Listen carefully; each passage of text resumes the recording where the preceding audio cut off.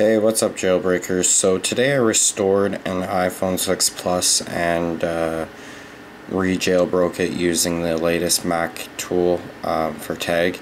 And I had experienced this before. I had actually read about it on Reddit, which I have up here on the side. And uh, I keep getting the blue screen when I reboot. And I'm hoping it'll do it again because it just did it like four or five times. So like my device is on right now. I just freshly jailbroke, so there's nothing really fancy on the phone right now, right?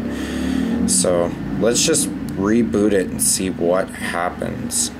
I mean, mine went into I know some people are saying, oh, if it happens maybe once or twice, it's not that bad, but mine did it like three or four times, so we're going to reboot the device, see what happens.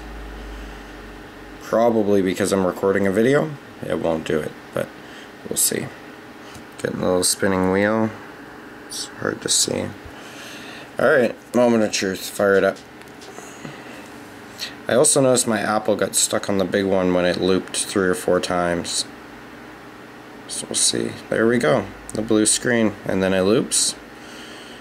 Freshly restored jailbroken phone. So I'm not too sure if this is an issue.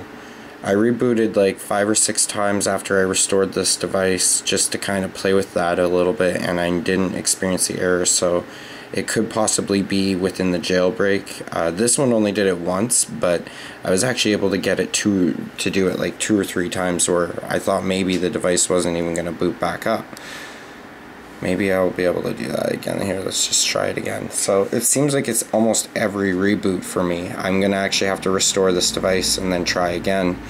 I'm just wondering how many other people out there have had this issue, if uh, you guys were able to fix it, or if you're just kind of plagued with if you reboot the device, it'll kind of act weird. I mean, I don't know if it's causing any damage, but uh, it does raise question, like, it's probably not right.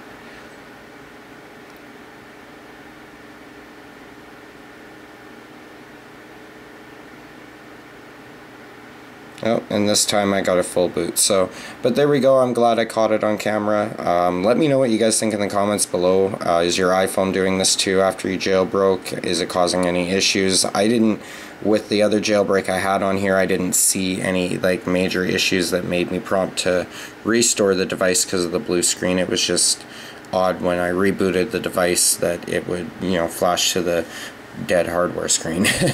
Anyways, thanks for watching guys. Rate, comment, and subscribe, and we'll see you again next time. Cheers.